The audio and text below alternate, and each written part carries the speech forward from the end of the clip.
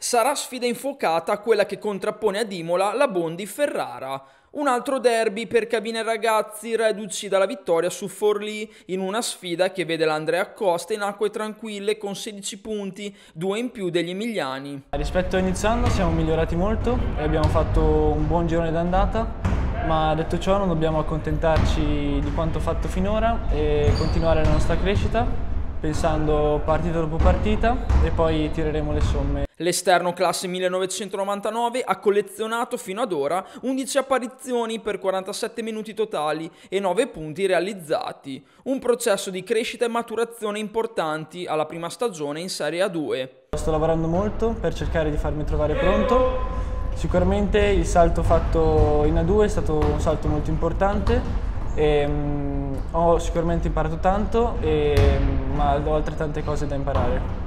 Prossimo appuntamento domenica 21 alle 18 contro una Ferrari in crisi al Palasport. Andiamo a Ferrara che viene da una situazione un po' così dovuta a delle sconfitte al cambio di allenatore, ma questo per noi non cambia nulla, dobbiamo andare lì e scendere in campo con la stessa energia e intensità messe in campo nelle partite precedenti per riuscire a portarla a casa.